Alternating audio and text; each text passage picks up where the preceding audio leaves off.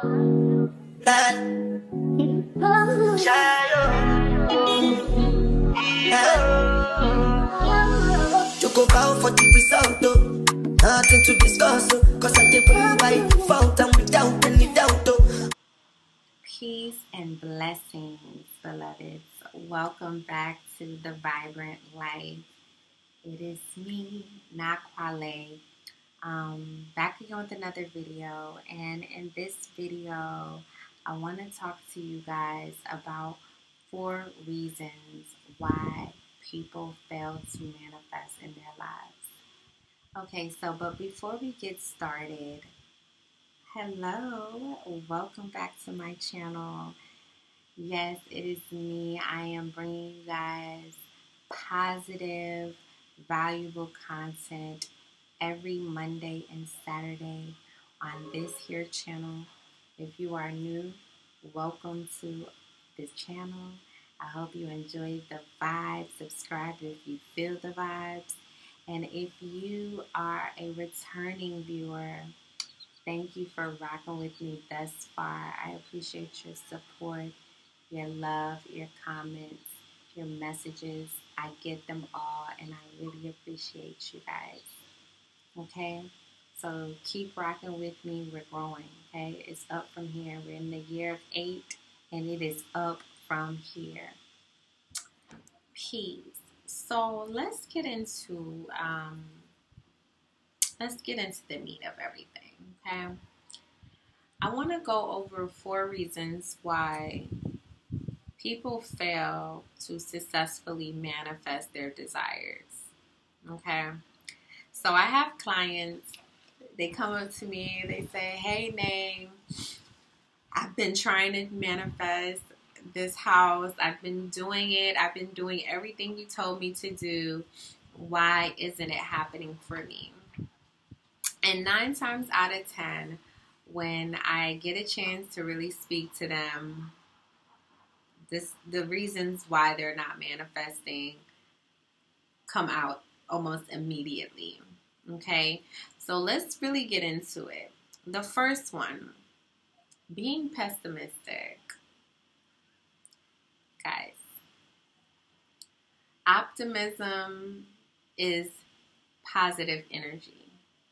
So just automatically assume optimism is positivity. Negative energy is pessimistic, right? People don't understand that us as a ball of energy, we're constantly creating and manifesting, whether we believe it or not. Your thoughts carry that much power, right? So your thoughts carry a vibration. Those vibrations are able to attract certain outcomes and experiences to your life. It is the universal power. It is how things work. So just know when you are being pessimistic you are being negative. Your thoughts are pessimistic. Now, it's not anything, I'm sorry, there's nothing wrong with being pessimistic at times. There's nothing wrong with seeing your reality at that moment for what it is. But know that your thoughts can create and alter your reality in moments it takes a moment sometimes.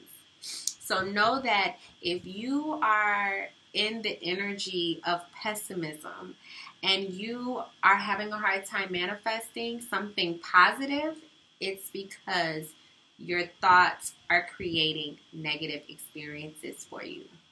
So it is best to make sure that you are in a space where you are open to creating positive thoughts. If your environment is not conductive or conducive, better yet, for you to be able to be in that element to have positive emotions, you may not want to try to attract anything at that moment, okay? Because you are going to want to clear your energy and make sure that you are in a space where you can think positive thoughts. Okay. Second thing, many people who are manifesting, right? And it doesn't mean that it can't happen, but many people are not being realistic about their manifestations and their goals associated with manifesting whatever it is. Okay? You got to understand that if you are new to manifesting, you probably need to start off small to build the confidence in yourself to know that it is possible, it is doable. But if you jump into these manifestations with something as large as a house, not saying that it won't happen for you, it can definitely happen for you. But for some people, people need motivation, some people need encouragement. And it's not really encouraging if you've never manifested anything that big before and you're trying to manifest something that big, right? So typically, you want to go in with realistic expectations of what you know you physically can manifest, right? If you know that you've just gotten out of a bad heartbreak, you know that you are not in the best space mentally to, you know, really attract large and great things I wouldn't try to manifest a new relationship at that point. I would make sure that I do the proper healing, right? And work that I need to do to make sure that my mental space and my emotions has the capacity to bring forth the energy to push that manifestation through. Okay? So sometimes that looks like having superficial desires for people who try to do those things. You know, it's like you have to feel it within the core of your being if you want to manifest. And if you're just manifesting for temporary temporary gratification and things of that nature, you're going to have a challenging time manifesting, okay? So that is yeah, another reason why people have a hard time manifesting, okay? Number three, another reason why is not really knowing what you want. Okay. And I have to be honest, when I first started working with the law of attraction, this theory, I had a hard time. I didn't know exactly what I want. I didn't make myself clear to the divine powers what it was that I really wanted. And so what ended up happening was I ended up getting everything that I deserved in that moment and that I needed, right? So you want to make sure that if you are manifesting, you know exactly what it is that you want down to the T. Um, for example, and this is how my elder taught me, okay? If you go to a restaurant and you say, hey, and the waitress asks you, what can I get you? You say, I want the best breakfast ever. I want the best breakfast ever, right? But now your friend comes in, the waiter comes up to her, and she says, I want French toast, fluffy, extra syrup, extra ham, extra eggs on the side with a big glass of orange juice. Now, your plate gets there, and all you have is oatmeal. And your friend is eating this lavish breakfast, whose fault is it? Is it the waitress's fault or is it your fault? So you have to know what you want. You have to ask for what you want. That is how it's going to work for you, beloved. If you do not know what you want and you ask the universe or whatever divine power you believe in, don't be disappointed when you get whatever it is that you may need. It's all great and it's all an opportunity for another chance, but that happens a lot. And that used to happen to me a lot. I just didn't know. I was, I, I didn't feel like I was worthy of asking for everything I had, you know, or everything that I wanted.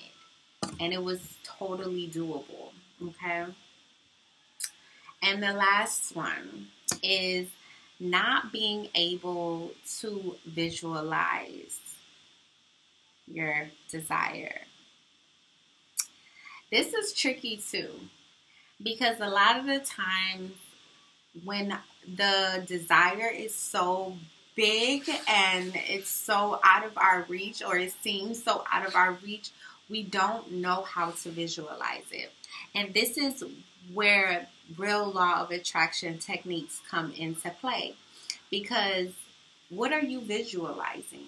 If you have no way to visualize it, you have to create a visual for it, right? Are you creating mood boards, vision boards? You know, are you dreaming it? Are you drawing it? What are you doing to make the photo clear of what it is that you want. Once you've found your clarity, oh, it's easy from there. You can visualize it all day. But yeah, that could be tricky too. If you your goal is so big and you just don't know how to visualize it, you need that visualization to be able to associate that emotion with it, right? So that is pretty much one of the reasons why people have a hard time manifesting because they cannot really put the vision together themselves, right? So sometimes you have to maybe look at what other people are doing. And, you know, there's a lot of controversy around that. Like, you can't want what other people have, but people follow people, is the way of the land. And there's no shame in saying, I love how this person lives.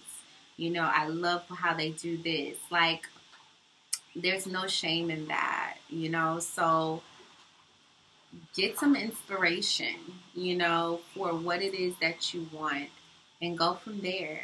But that's pretty much it. Those are my four tips for why you're probably not manifesting as fast as you would like to. Okay, so hopefully this helps you. Um, if it did, please leave me a big thumbs up and share this video with your favorite manifesting buddies. And yeah, I will see you guys in the next video. But also, if you want to learn how to attract your dream life, purchase my journal. You guys, this journal is amazing journal. It is now here on Amazon for your purchase.